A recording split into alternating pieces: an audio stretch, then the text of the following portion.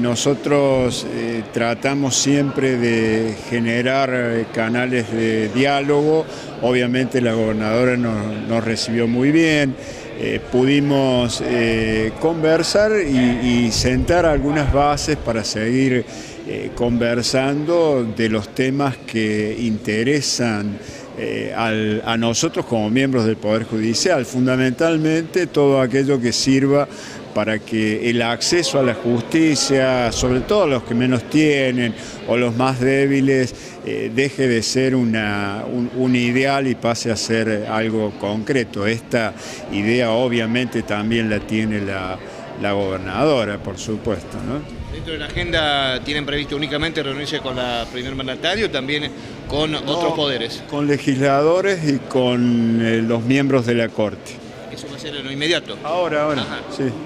¿Y los temas van a ser siempre los mismos? Y los temas son los temas que, interesan a nuestras agrupaciones por representar precisamente a magistrados y funcionarios judiciales, ¿no? Lo que tiene que ver con el acceso, lo que tiene que ver con el buen funcionamiento de la justicia, con la capacitación, con los sistemas de selección, con los sistemas de remoción, con las eh, cuestiones presupuestarias y para esto, eh, para, para esto, para poder eh, mejorar, hay que dialogar.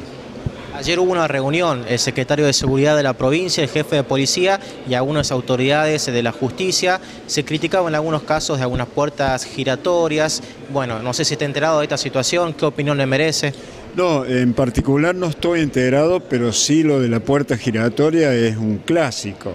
El tema es que eh, los jueces tienen que aplicar la ley. La ley la han hecho los representantes del pueblo, expresa la voluntad general y de acuerdo al, sistema de política criminal fijado en la Constitución Nacional, hay dos derechos básicos. Uno es el derecho que la víctima tiene a defender sus derechos, a acudir a los tribunales para que los jueces reconozcan este derecho, y otra cosa es el derecho que el sospechoso tiene a, poder ejercer su defensa y a mantener su libertad dentro de ciertas condiciones, lo cual quiere decir que si esas condiciones no se verifican, el sospechoso tiene que seguir en libertad. No es que el juez le conceda graciosamente la libertad, sino que es la obligación del juez aplicar la ley que hicieron los legisladores. Y eso implica en muchos casos